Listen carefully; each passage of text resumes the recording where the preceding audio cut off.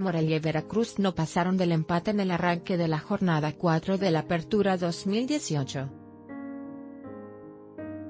Con anotaciones de Ray Sandoval y Carlos Ferreira, así como de Ibert Ruiz y Joe Abrigo, ambos clubes repartieron puntos en el estadio Luis Pirata Fuente. Monarca llegó a cuatro unidades en tres juegos, mientras los tiburones sumaron su primer punto de la competencia, tras sufrir dos derrotas en sus dos compromisos previos. Te podría interesar, Chivas habló seriamente con Edgardo Marín Morel y abrió el marcador con un gran disparo de Ray Sandoval.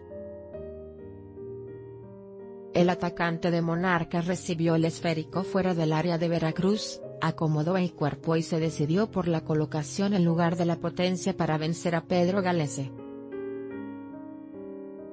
Veracruz buscó por varios minutos, pero sus mejores oportunidades terminaban rechazadas por la defensa rival.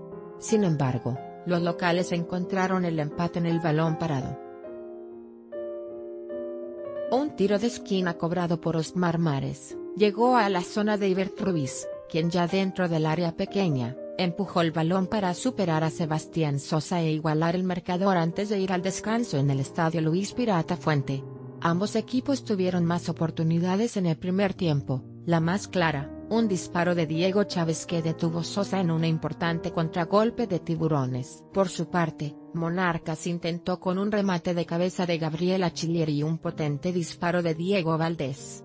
El segundo tiempo se vivió con menor intensidad y careció de emociones, eso hasta los últimos minutos.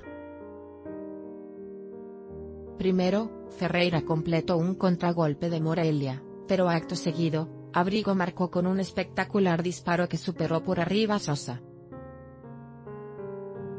Morelia jugará con Necaxa en la jornada 4, mientras Veracruz hará lo mismo frente a Puebla.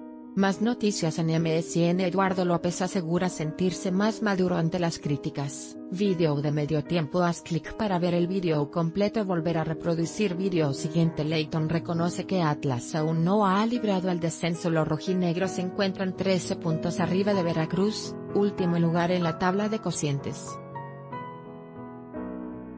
Medio tiempo Jugadores que se retiraron de la Liga 1010 en 2017 Jugadores que se retiraron de la Liga 1010 este 2017 Medio tiempo de Tultiplán Andorra, la historia de Alan Peniche Su sueño de jugar en Europa llegó de sorpresa. Medio tiempo un cancelar 00140 configuración desactivado HDHQS del 8 se siente más maduro ante las críticas. Chofi se siente más maduro ante las críticas. Medio tiempo ver más videos compartir compartir tuitear compartir correo que mirar. Próximamente Leighton reconoce que Atlas aún no ha librado el descenso. Medio tiempo 054 jugadores que se retiraron de la Liga 1010 en 2017 medio tiempo 1 a 13 de Tultitlán Andorra. La historia de Alan Peniche medio tiempo 4.30 Murder Clown, luchador gracias al básquetbol medio tiempo 3.47 Adriana Jiménez regresa a la piscina la Universal 2.30 promesas del fútbol en 2007, ¿qué fue de ellos?